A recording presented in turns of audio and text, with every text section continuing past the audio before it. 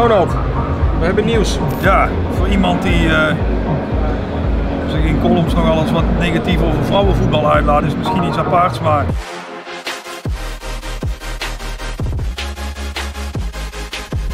Wij zijn het eerste bedrijf dat met een uh, specifieke dameskeepershandschoen op de markt komt.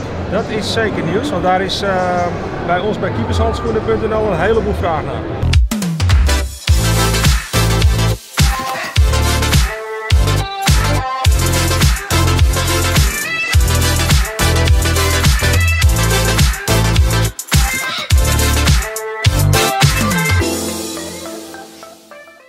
Kunnen wij nou iets brengen wat specifiek voor dames is. Ja.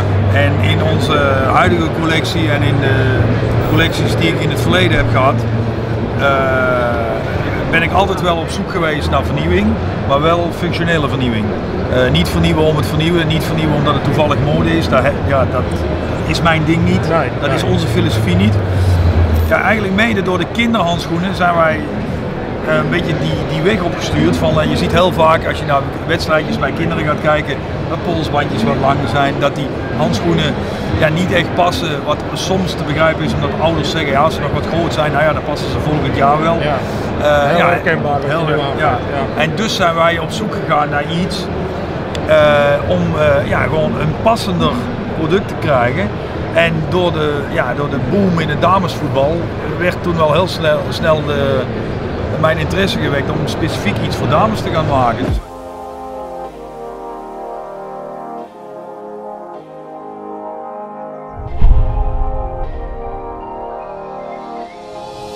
dus wij zijn met een uh, dameshandschoen op de markt gekomen. Met input van veel uh, uh, keepsters, ook in de Eredivisie, zelfs bij Oranje. Uh, niet geheel toevallig dat we ook daarom de oranje kleur nee, gekozen dat was mijn volgende vraag, maar dat is uh, bij deze beantwoord. Nou, ook wel omdat, ja goed, ik ben uh, tenslotte wel Nederlander en ik wil toch wel mijn merk op de kaart zetten en ik wil toch ook wel laten zien dat we Nederlands zijn. Ja. En ik vind het ook gewoon een mooie kleur, laat dat duidelijk zijn. Ja, dus, absoluut, absoluut. Dus Wij hebben in ons logo ook niet voor niks oranje zitten. Dus, We hebben de uh, uitsparingen van mesh gemaakt, waardoor ze flexibeler worden, comfortabeler en als bijkomend voordeel ook nog een fractie lichter zijn dan de gewone handschoen. Ja. En wat we echt gedaan hebben, wat we zelf niet aangedacht hadden, wat we echt uitsluitend door de input van de dames zelf hebben gedaan, is de duimen aangepast.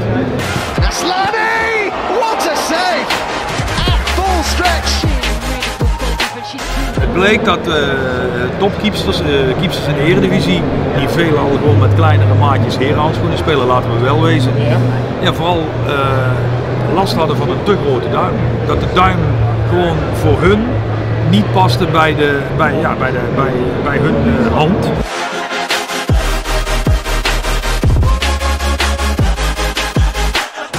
En de eerlijkheid gebiedt ons te zeggen dat we de, bijvoorbeeld de uitsparingen van stof die we in de vingers hebben gebruikt, die maken dat de handschoen er wat femininer uitziet dan de mannenhandschoen. Uh, wij hebben het eigenlijk gedaan als gewichtsbesparing en als ter bevordering van de flexibiliteit van de handschoen. Maar het is een bijkomend voordeel geworden dat hij daardoor een wat meer feminine uitstraling krijgt. Ja, wat ik al zei, dit is hem.